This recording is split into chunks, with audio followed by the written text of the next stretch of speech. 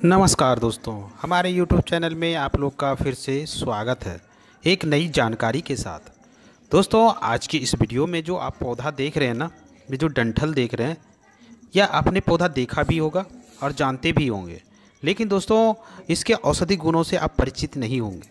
तो दोस्तों, आज इस वीडियो में हम बात करेंगे इस पौधे के फ़ायदे के बारे में। इसमें बहुत सारे औषधि गुण विद्वान होते हैं। दोस्तों, आपने ये अक्सर देखा होगा खेत खलियान या खेत के मेरों पे ये ज़्यादातर लगाया जाता है। और ख़ास करके बहुत सारे लोग इसको गार्डन में भी लगाते हैं, क्योंकि इसकी अजीब टाइप सी बनावट होती है और इसमें पूरे पेड़ में कांटे ही कांटे होते हैं। जी हाँ दोस्तों, आप इसको कहीं से भी तोड़ेंगे तो इसमें भरपूर मात्रा में दूध निकलता है। दोस्तों, ऐसे तो इस पौधे का नाम है थुहर। थुहर के नाम से जाना जाता है।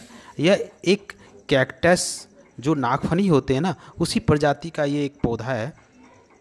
आप देख लीजिए। और ये इसे थूहर के नाम से कहा जाना जाता है।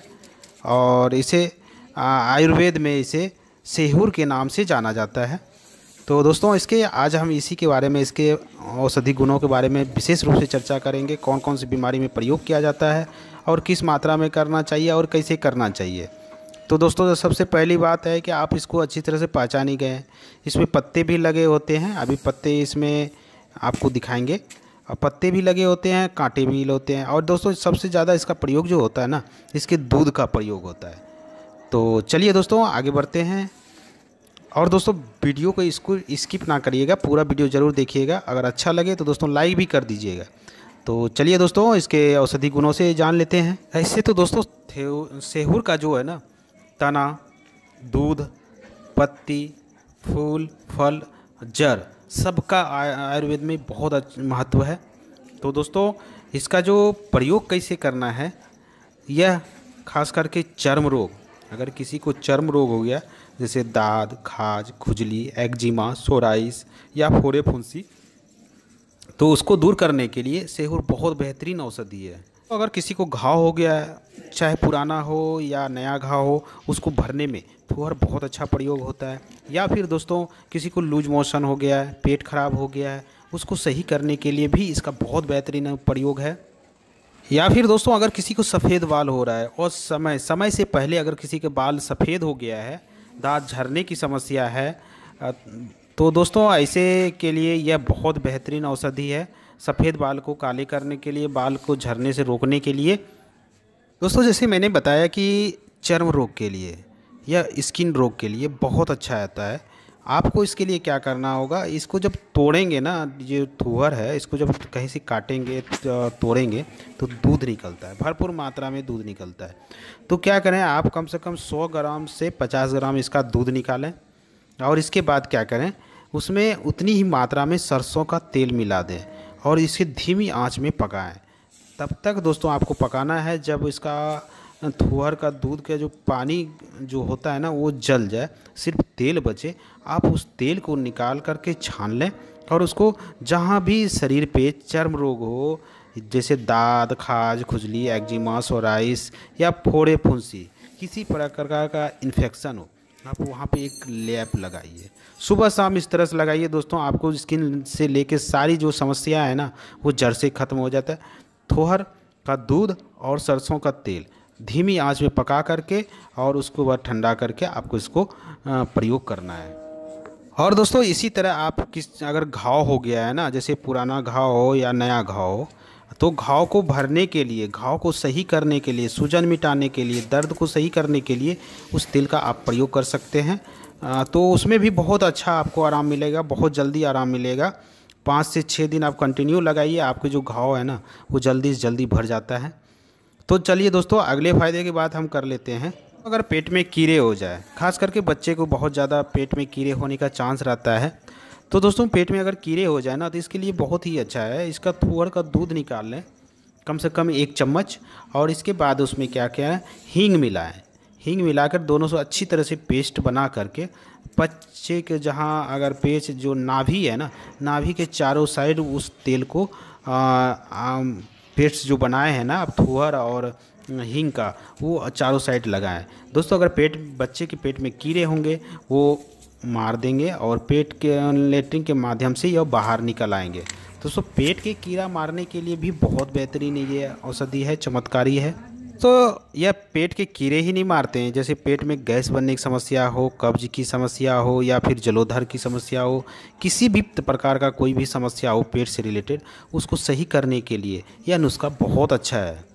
दोस्तों, अगले फ़ायदे की बात करें, जैसे कि बाल झड़ने की समस्या हो और समय सफ़ेद होने की समस्या हो। दोस्तों, इसके बहुत सारे कारण होते हैं।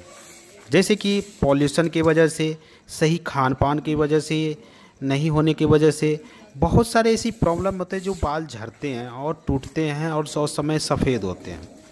तो दोस्तों, उसके लिए यह थुअर कोई वरदान सी कम नहीं है। आप इसका भी प्रयोग करके अपने बालों को, झड़ते हुए बालों को रोक सकते हैं। और समय सफ़ेद हो रहे हैं तो उसको रोक काली कर सकते हैं। तो इसको करना कैसे है? इसके लिए भी बहुत साधारण सा इसका प्रयोग है। आप क्या करें, थूहर का दूध ले आएँ और सरसों का तेल। जैसे मैंने पहले बताया था ना, उसी तरह आप इसको धीमी आँच में इसे पका करके, जब और इसका पानी तुअर का दूध का जो पानी होता है ना, वो जल जाए तो इसके बाद खाली तेल तेल बचे, आप उसको छान करके किसी बोतल में रख लें और रात में सोते समय उस तेल से आप अपने सर पे हल्के हाथों से मालिश करें। इस तरह से आप कंटिन्यू 10 से 15 दिन करेंगे, आपको फ़ायदा दिखने लगेगा। दोस्तों, बाल उगाने के लिए, बाल को झड़ते हुए रोकने के लिए और समय सफ़ेद होने के लिए या बालों से लेकर कोई भी समस्या हो, उसको दूर करने के लिए यह नुस्खा बहुत बेहतरीन है। दोस्तों, अगले फ़ायदे के बारे में अगर बात करें जैसे किसी के दांतों से खून आने की समस्या होता है, दांतों में मुँह से बदबू आता है, दांत सड़ने लगते हैं, कीड़े पड़ जाते हैं, या गलत खान पान की वजह से कभी गुटखा, बीड़ी, पान, सिगरेट खा खा करके अपने लोग दांत को सरा लेते हैं। तो दोस्तों, वैसे टाइम में आपका क्या कर सकते हैं? थूहर का भी आप प्रयोग कर सकते हैं। उसके लिए आपको क्या करना होगा? इसके जड़ को ले आएँ और छोटे छोटे छोटे छोटे टुकड़े करके इसको सुखा लें।